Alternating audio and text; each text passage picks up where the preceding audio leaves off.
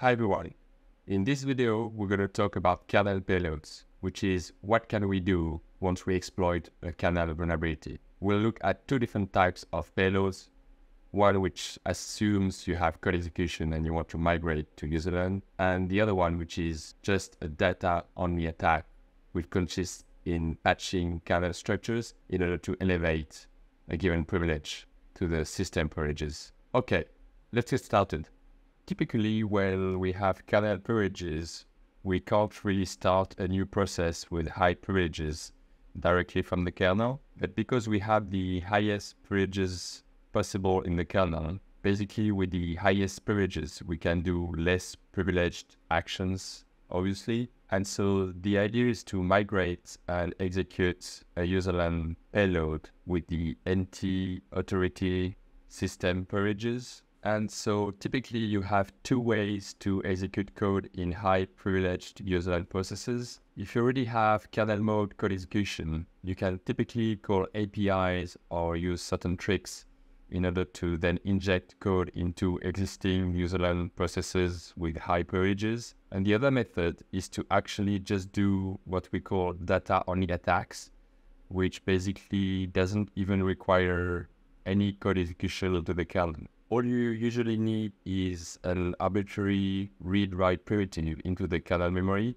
and then you can manipulate the kernel structures such as the tokens, security identifiers, or privileges in order to give high privileges to your own process. The advantage of the former method is that it applies to both local and remote scenarios, whereas the latter method only applies to local exploitation. And so with recent mitigations in Windows 10 and later, it's getting harder and harder to get code execution into the kernel. And so usually what you get first is an arbitrary read-write primitive anyway. And so instead of then trying to get code execution into the kernel, in the local privilege escalation case, what most attackers do is that they just manipulate tokens in order to elevate an existing process they control in userland, since it's just fairly straightforward.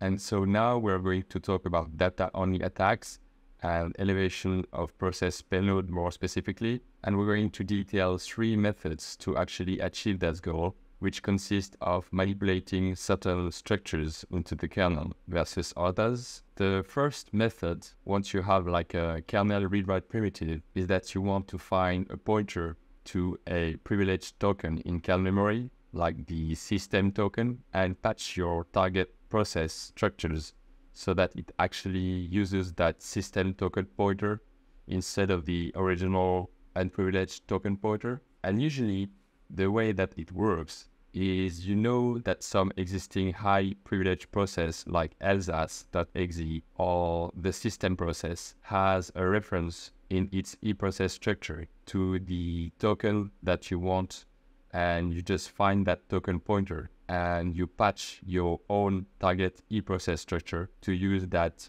privileged token. So the first step would be to find an eProcess structure of any process, and then you can basically just walk the linked list of e-process structures until you find a privileged process, and then you just grab the pointer to the token. Then you continue walking the linked list of e-process structures until you find your target process. And finally, you patch your target e-process to hold the privileged token pointer you previ- previously stole in this example, we will assume we have some unprivileged command prompt, cmd.exe, and if you type something like who am I, you can see the token associated with this process is just from a regular user. In our case, it's the IE user. And if we read our exploit from this command prompt, the goal would be to elevate this particular command prompt privileges to the NT authority system user so that when you type who am I,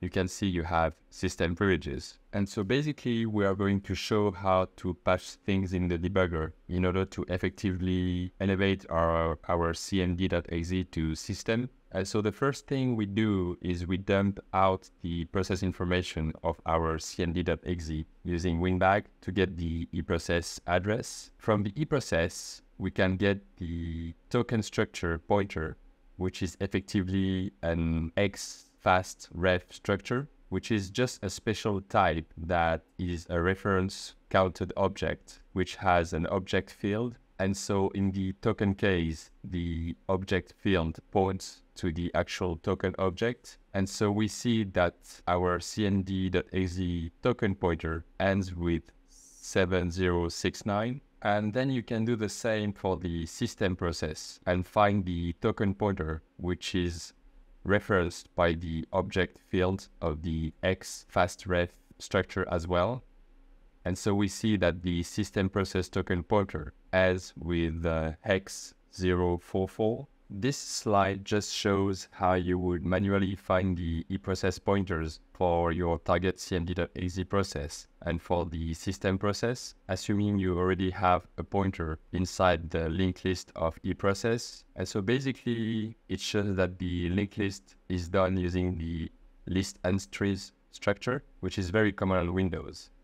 And this list entry is at offset hex 2e8 on that particular Windows version. And so using the DL command, we can actually see all the elements of the linked list and we can find both the eProcess for cmd.exe and the eProcess for the system process. So inside the eProcess structure, we said the offset to the linked list is hex 2e8. And so another field you need is the token pointer. And so it is at offset hex 358. And so the idea here is that we are just dumping out the original token pointer using the dq command. And we do that from the cmd.exe process. And we see it ends with hex 7069. And then we are editing this token pointer with the eq command in order to replace it with the one from the system process ending with hex 044. And then we can just confirm by rereading it with dq that it now points to the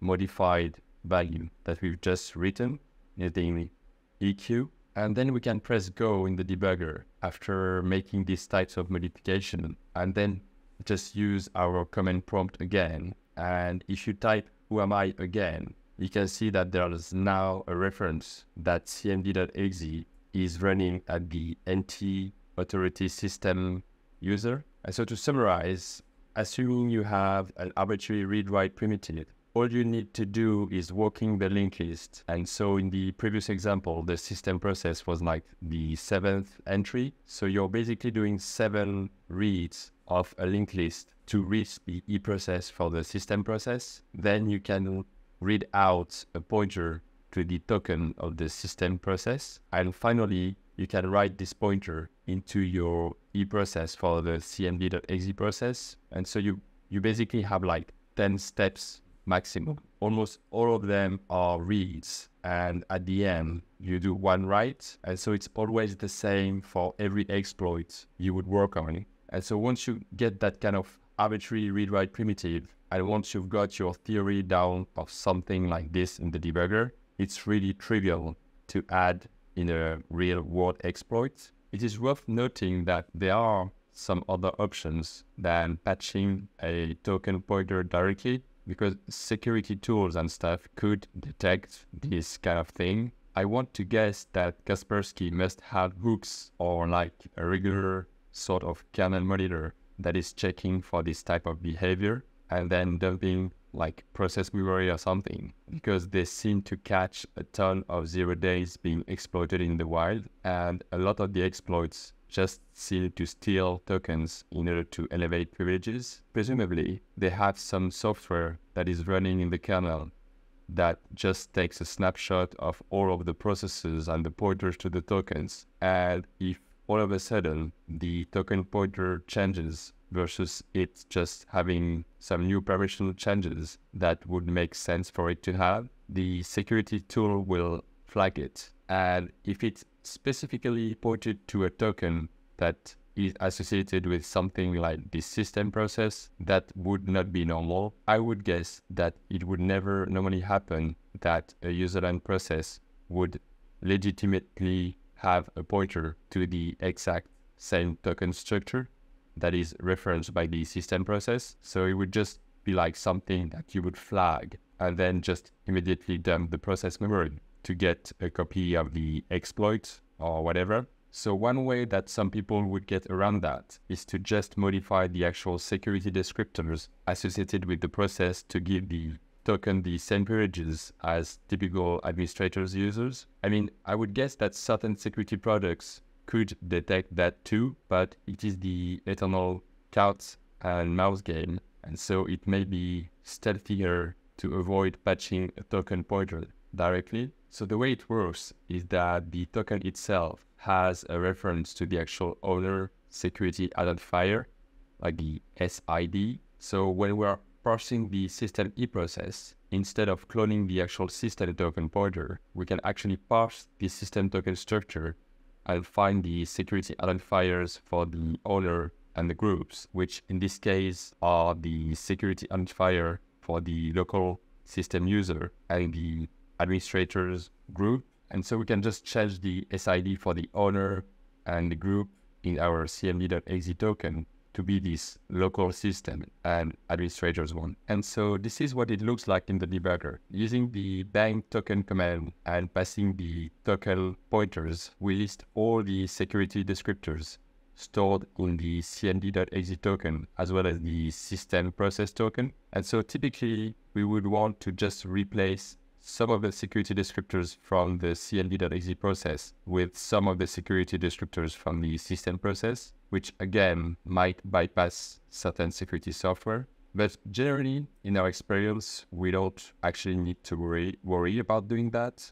The last method to do data-only attacks to elevate our process is to just modify the actual token itself to give it all of the privileges which would let our process access other processes' memory. Adding new privileges is just a matter of adjusting a bitmap in the token to add the privileges. And so typically you would add the SC debug privilege capability so you can read other processes' memory like LSASS so you can dump hashes or credentials, pivot to other systems, and so on. This slide just shows that a typical cmd.exe is missing all the super powerful privileges like SC debug privilege. And so you could just patch this if you wanted into your cmd.exe privileges. But again, in our experience, we don't need to worry about doing that. And patching the actual token pointer is enough in general